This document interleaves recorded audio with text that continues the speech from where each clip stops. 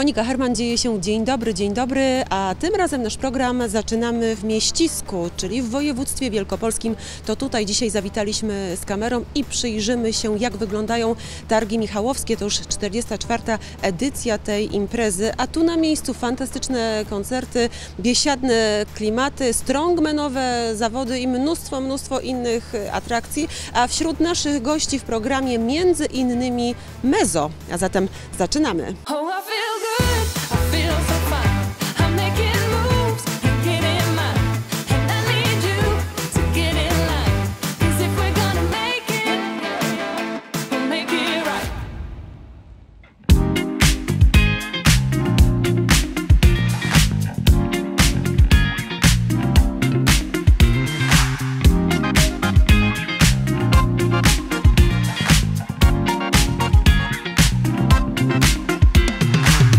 nami Przemysław Ren, wuj gminy Mieścisko. Witam pana bardzo serdecznie. Dzień dobry.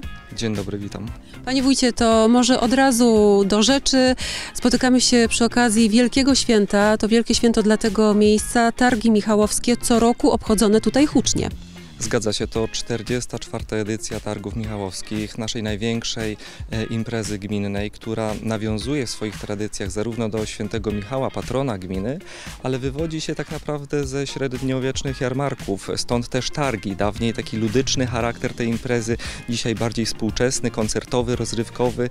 E, tak jak pani redaktor powiedziała, największa, najfajniejsza, najbardziej wyczekiwana impreza przez mieszkańców i właśnie, właśnie ten weekend to jest e, moment 44. Targów Michałowskich. A być może te targi ostatni raz e, w gminie, być może w przyszłym roku w mieście.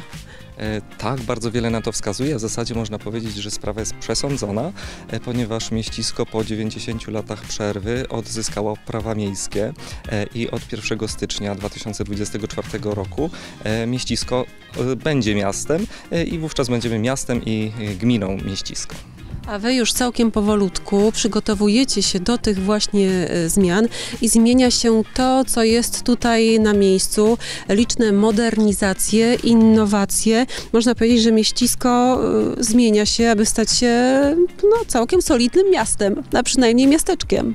E, Zgadza się, mam zaszczyt e, stać na czele tej gminy od niemalże pięciu lat. Jest to moja pierwsza kadencja w roli e, wójta i to, co sobie postawiłem za cel, to realizować potrzeby mieszkańców. I faktycznie realizujemy przez, ten, przez te pięć lat bardzo wiele kluczowych, istotnych inwestycji. Znajdujemy się właśnie w miejscu, które całkiem niedawno powstało. Inauguracja tego miejsca, amfiteatru wraz z towarzyszącym parkiem miała miejsce w kwietniu tego, tego roku.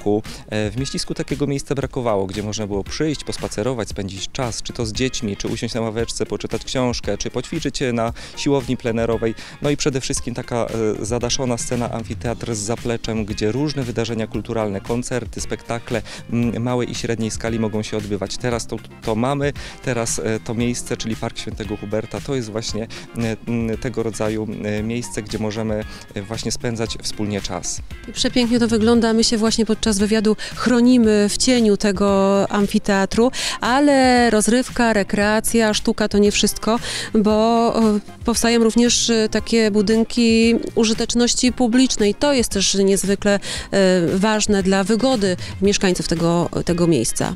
E, Zgadza się, jesteśmy jedną z nielicznych gmin w całym kraju, która e, postawiła na taką e, inwestycję jak budowa nowego ośrodka zdrowia w Mieścisku, który zresztą sąsiaduje z tym parkiem. Jest to bardzo wyczekiwana sprawa. Mamy już obsadę lekarską, pielęgniarską, stomatologiczną, aptekę, fizjoterapię i przyznam nieskromnie, że nawet delegacje z różnych gmin przyjeżdżają do nas oglądać, e, zapoznać się z tą inwestycją. Być może zaplanują także e, tego rodzaju e, inwestycje w swoich miejscach, natomiast jesteśmy z tego bardzo dumni, co udało nam się zrealizować. A uczniowie mogą iść do nowej szkoły? Czy tak właśnie jest? Zgadza się, modernizujemy szkołę z lat 70. Jest to największy remont od czasu jej powstania za kwotę ponad e, 8 milionów złotych. Jesteśmy na ukończeniu. Myślę, że w przeciągu dwóch, trzech tygodni uczniowie wrócą do zmodernizowanej siedziby e, i na pewno wszyscy uczniowie e, odczują korzyści płynące z tej modernizacji. A póki, póki co powolutku wracamy na targi Michałowskie. Pan też tam będzie, mam rozumieć. Oczywiście, że będę, jestem zawsze, e, będę otwierał dzisiejszą imprezę, e, ale będę także tam spędzał czas e, z przyjaciółmi, z rodziną, także na pewno będziemy mogli się tam zobaczyć. Widzimy się zatem na targach. Dziękuję za rozmowę.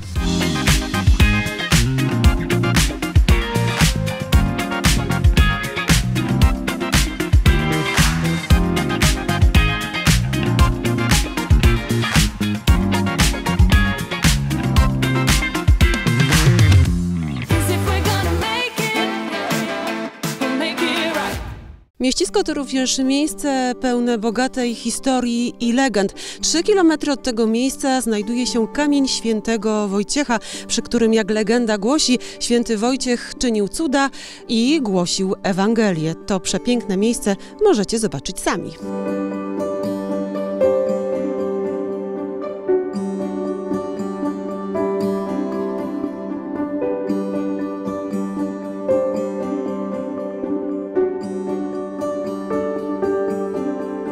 A w naszych wrześniowych wydarzeniach zaczynamy od e, weekendu 16-17 września, tam w Wiśle pokaz rajdowych e, samochodów, niesamowite wyścigi.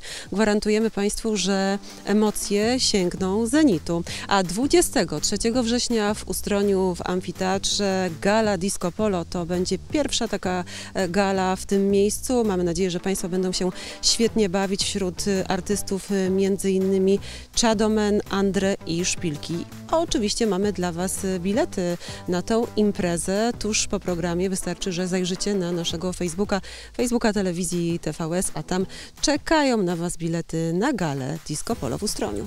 W naszym kalendarium zaczynamy od soboty 16 września, 14 PKO Bytomski Półmaraton, Bytom, godzina 11.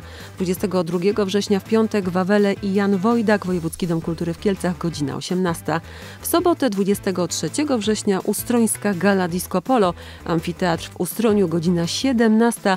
Wystąpi Andre Szpilki, Mik i Chadomen. W niedzielę 24 września Rubinowe Gody, Wrocławski Teatr Komedia, godzina 17.15 i w niedzielę 15 października koncert gwiazd telewizji TVS, Wojewódzki Dom Kultury w Kielcach, godzina 16.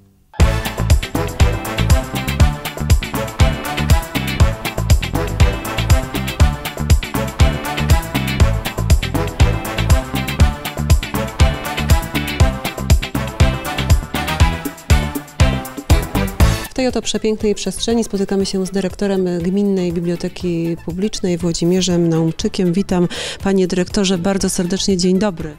Dzień dobry Państwu. To ja od razu zapytam, jak to możliwe, żeby ze zwyczajnej biblioteki czytelni zrobić tak przepiękne miejsce, bo od początku jakby waszym zamiarem było to, aby również to miejsce było takim punktem spotkań.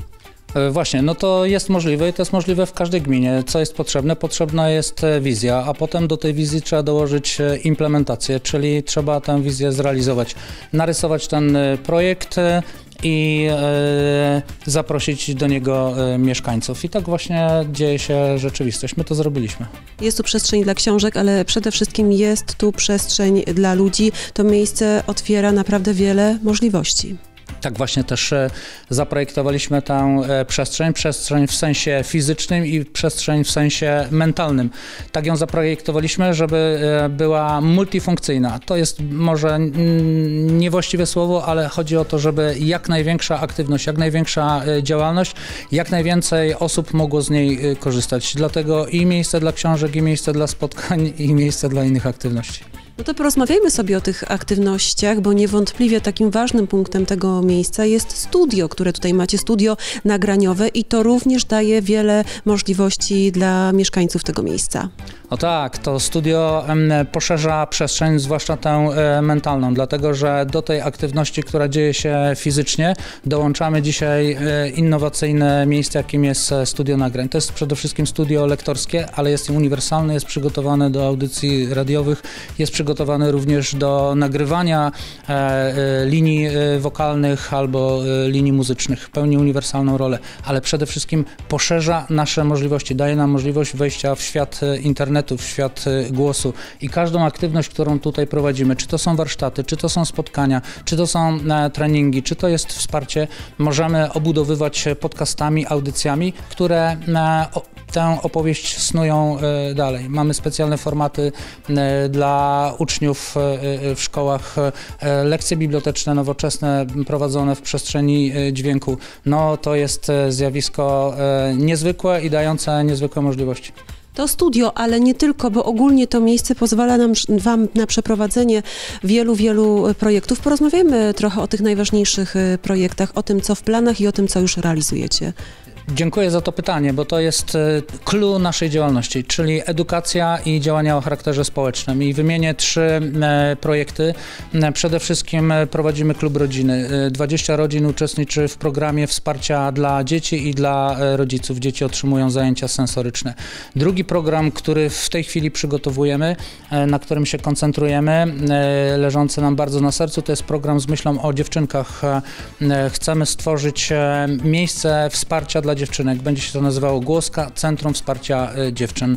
E, Testujemy tę usługę, jeśli okaże się, że działa, będzie ją można realizować e, w innych gminach. I trzeci projekt społeczny, który realizujemy, to jest Festiwal Kobiet Wsi. Wspieramy kobiety wszechstronnie, czyli dajemy możliwość warsztatów, dajemy wsparcie w zakresie poszukiwania pracy, a także raz w roku em, obudowujemy to eventem, gdzie podsumowujemy te działania i robimy krok do przodu.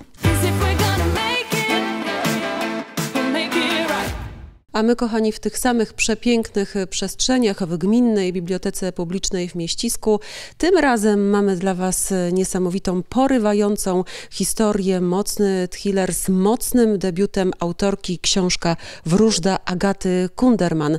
To historia, właściwie smutna historia głównej bohaterki Joanny, która traci dziecko i popada w depresję, ale po ciężkich przeżyciach, kiedy wydaje się, że już wychodzi na prostą, otrzymuje tajemniczy telefon. Obco brzmiący głos mówi jej, że jej córka żyje.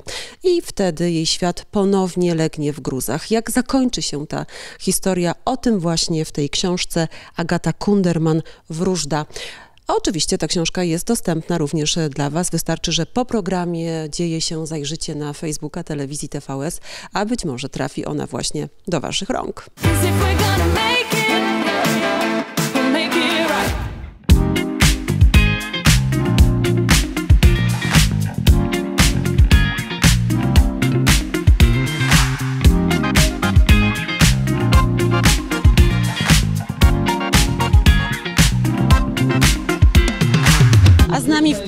Jacek Mezo tuż przed wejściem na scenę, przed występem. Witam Cię bardzo, bardzo serdecznie. Niezwykle mi miło, że możemy e, porozmawiać. Słuchaj, to są takie Twoje okolice, w których Ty lubisz występować? Zawsze Wielkopolska jest mile widziana, zawsze w Wielkopolsce ludzie bawią się trochę lepiej niż w dalszych zakątkach Polski, bo jestem mocno utożsamiany z Poznaniem. Także no 45 minut jazdy. Co prawda dzisiaj gramy tu bardzo wcześnie, jedziemy jeszcze nad morze na drugi występ, e, dlatego tak wcześnie dzisiaj, ale no mam e, dobre nastawienie, o powiem tak, nie, nie grałem nigdy w Mieścisku. Grałem w pobliskim Wągrowcu na przykład, ale w Mieścisku nie. Ale scena prezentuje się dobrze, a przede wszystkim połowa września mamy pogodę hiszpańską absolutnie jak na środek wakacji. No dobrze, słuchaj, jak ja w ogóle e, patrzę na Ciebie i rozmawiam z Tobą po iluś tam latach od tych Twoich pierwszych debiutanckich albumów, to po pierwsze myślę sobie, że niewiele się zmieniłeś, ale domyślam się, że 20 lat e, Twojej pracy twórczej, zawodowej i prywatnej to był dla Ciebie szmat czasu, gdzie wiele w Twoim życiu się zmieniło. Oczywiście, no tak, to jest. To już jest e, taki czas pokolenia. E, Moja córka gdzie ze mną przyjechała, za dwa miesiące ma 18 lat, moja córka. Mam też syna rocznego, także y, czuję się nadal młodym ojcem i jestem młodym ojcem stosunkowo. Ale tak jak mówi ta piosenka odświeżona z, przez nas z Liberem w tym roku, ja mam 20 plus 20, no to właśnie y, zatoczyło koło trochę takie pokoleniowe to nasza muzyka. Nadal gramy, nadal jesteśmy potrzebni i to, to cieszy. No ale przede wszystkim gdzieś w środku jest jakaś chęć ro- robienia muzyki. A kiedy patrzysz tak, kiedy występujesz na swoich fanów, to kogo widzisz? Widzisz tych starych fanów, właśnie kolejne pokolenie fanów? Tak, no, widzę około moje pokolenie, czyli tak 30 plus, to są fani tacy najbardziej zaangażowani, bo oni pamiętają te czasy właśnie sprzed 20 lat. E, młodzi ludzie w, na, na zasadzie 18-20-latkowie raczej mają już nowych idoli, ale oczywiście jak się zrobi mu piosenkę typu e, Ważne czy Sakrum, to ona przetrwa próbę czasu i oni też te piosenki znają, więc to jest fajne, że mamy też e, młody fanbase, ale to nie są tacy, nie, oni nie mają tych wspomnień sprzed 20 lat, no, z racji tego, że e, wtedy jeszcze nie byli na świecie na przykład.